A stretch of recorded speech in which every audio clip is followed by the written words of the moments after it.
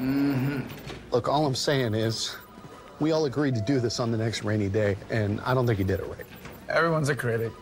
There is a very particular way you're supposed to decide if you're going to keep something. Now, Marie Kondo says, I know what she says. She says, if you hold it in your hands and it doesn't bring you joy, adios. Are you trying to tell me how to Kondo? no, but Look, all I'm saying is I don't have a lot of stuff. The stuff I have, I like. You are a pack rat. um, I don't even know what's in this box, actually. Delilah Kondoed for me, made me promise not to open it. Okay, I don't think you did it right. It's my favorite shirt. McGee, we're supposed to donate this stuff to charity.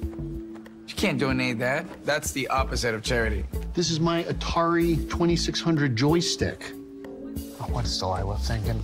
Uh, mean, she understands that you're not 11 years old, or are you? Are you kidding me? This is Queldorf. Queldorf, leader of the Ben Hibidi, ruler of. All right, it's an 80s comic book character that never really found his footing. Okay? Hey, morning. Morning. Wow. Speaking of pack rat, This is nothing. I got five more loads in my truck.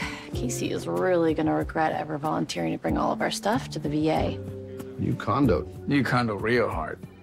I just follow the rules. I mean, this stuff doesn't bring me joy, and I no longer have room in my life for things that don't bring me joy. And that's junk. This is not junk. This is a warm, loving memory of my childhood. It's a ratty t-shirt with holes in it. It's worthless. No, it's not. Old shirts make great shop rags. Thanks, McGee.